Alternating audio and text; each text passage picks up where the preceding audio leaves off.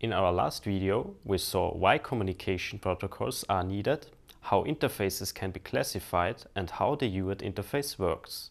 In this video, we will talk about two very famous communication standards between microchips. The Serial Peripheral Interface or SPI as an example of a synchronous interface and the I2C interface as an example of a bus. Both have been standard interfaces on almost all microcontrollers for many years, so it's hardly possible that you won't come into contact with them sooner or later.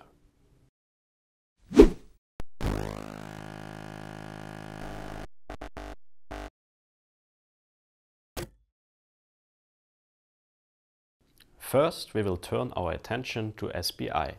The Serial Peripheral Interface was developed by Motorola in the 1980s. It is a widespread interface for microcontrollers and other motors. It is synchronous and therefore needs three lines for unidirectional and up to four lines for bidirectional communication. SPI consists of a clock line called CL or CLK, a chip select signal line called CS for chip select, and up to two data lines. These are called SDIO for unidirectional communication or SDO and SDI for bidirectional communication. In older datasheets, you can often find the expressions MOSI, which stands for master out, slave in, and MISO for master in, slave out. The other two abbreviations, SDI and SDO, stand for serial data in and out. SPI allows transmission rates up to megabaud per second, Compared to UART, the data is considered valid at a certain clock edge on the clock line. However, the SPI standard does not specify which clock edge this is. In general, there are four SPI operating modes, which differ in whether the clock is in high or low state when no data is being transmitted and whether the data is considered valid on the falling or rising edge of the clock. A bus device is responsible for generating the select signals and the clock signal. This participant is, until today, usually called master. The other participants are called slaves. There is a lot of debate going on in the electronic industry regarding these names. But until now, manufacturers have not yet been able to agree on a different uniform name. We will therefore stick to these names as they appear in almost all current datasheets. Let's look at the transmission of a byte with SPI using an example. For the example, we consider the data is valid on a rising edge of the clock line. The level of the clock line when there is no communication is high. We transmit simultaneously from the master to the slave the value 5 and from the slave to the master the value 128. 5 in binary is 4 zeros followed by 0101 and 128 in binary is a 1 followed by 7 zeros. As previously said, the clock line is high in the idle state. The chip select line is also high and since we are in idle state, the level of the data lines is not important. To start a transmission, the master pulls the chip select line to low and starts generating the clock signal on the clock line. Since the SPI standard does not specify the order in which the bits are transmitted, we can decide that in our example the most significant bit is transmitted first. The respective data is now accepted by both slave and master on a rising edge of the clock. In case of a falling edge, the master can change the state of the MOSI line while the slave can change the state of the MISO line. After all bits have been transmitted, the lines return to the idle state. As you can see, the transmission works in such a way that simultaneously one bit is transmitted from the master to the slave and vice versa. You may think that the chip select line is not needed. But wait, let's look at the communication with three devices. Two or more slaves can be connected to one master as shown in the picture. One chip select line is required for each slave. Depending on which slave the master is communicating with, it can now pull either one chip select line to the low level and then perform the data transfer with this slave. If the chip select line is pulled high, the corresponding slave may not actively change the state of its MISO pin. Otherwise, the slave would interfere with the communication of the other slaves. Another possibility to connect several slaves with a master is the so-called daisy chain. As you can see, the MISO line of the participants are connected to the MOSI lines of the following participant. A chain is created. In our example, if each slave has an 8-bit data register, the master must generate 16 clock cycles while pulling the chip select line to low. After the first 8 cycles, the master's data has been received by slave 1, slave 1's data by slave 2 and slave 2's data by the master. After 16 cycles, the master has received the complete packet from slave 1 and slave 2 has received the packet from the master. This configuration has the disadvantage that its total speed depends on the slowest module. Also communication breaks down completely if only one module is defective. As we can see, SPI is a quite simple interface with various configuration options.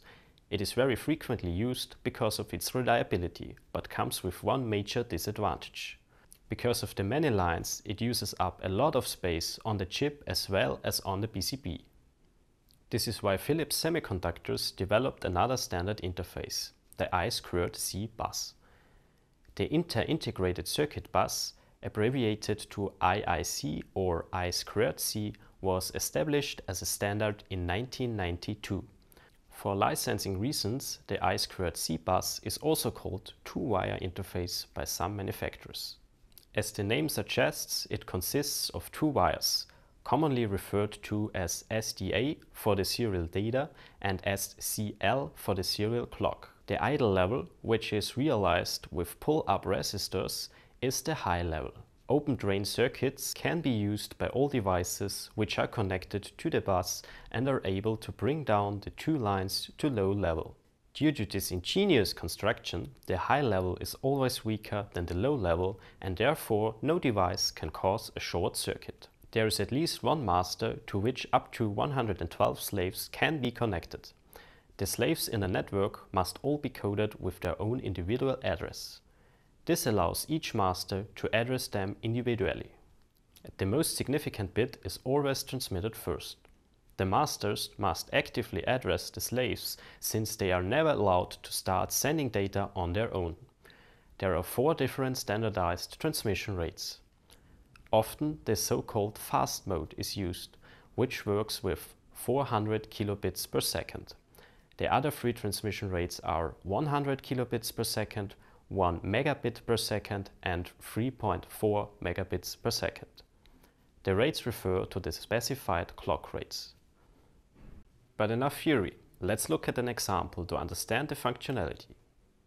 For the example, two data bytes are sent from the master to a slave. For the data bytes, we again take the values 5 and 128 we select 32 as the slave address. 32 in binary is 001 and 5 zeros. In the idle state, both lines are at high level. The transmission starts with the start condition, which means that the SDA line is pulled to low by the master while the clock line is still constantly high. This is the sign for all slaves to start listening. Now the 7-bit address is transmitted. The bits on the SDA line are only considered valid when the clock signal is currently at high level. During this time, the level of the SDA line must not change to correctly transmit a bit. As soon as the clock goes back to low, the SDA line has the opportunity to change its state for the next bit to transmit. The most significant bit is transmitted first. After the address, a read and write bit is transmitted.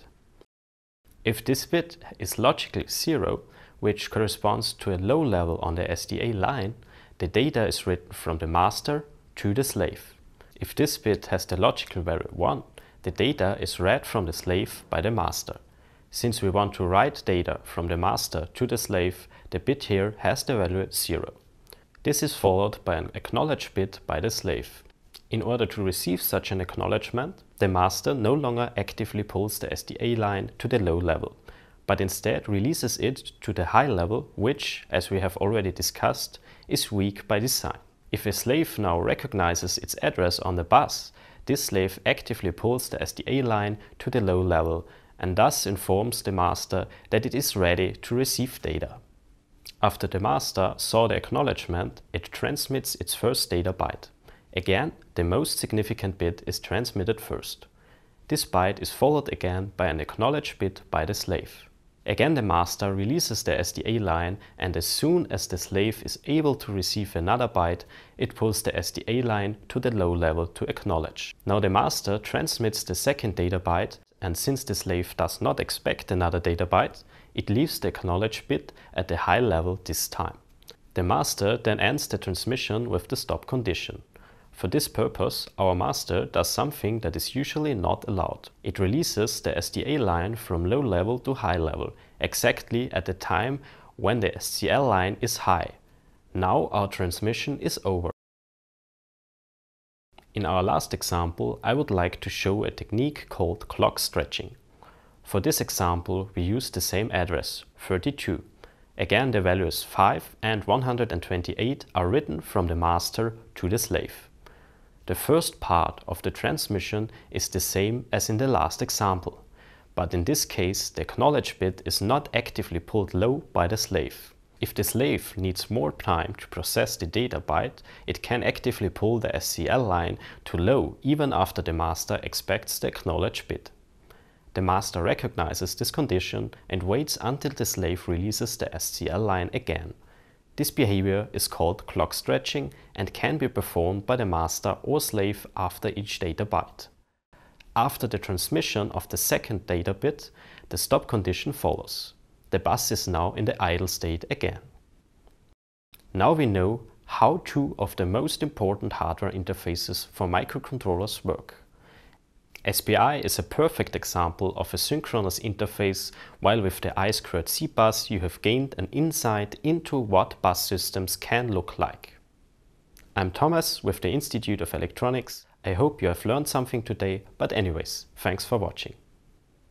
For the interested viewer, we highly recommend The Art of Electronics by Horowitz and Hill and for our German-speaking viewers, Elektronische Schaltungstechnik, written by members of our institute.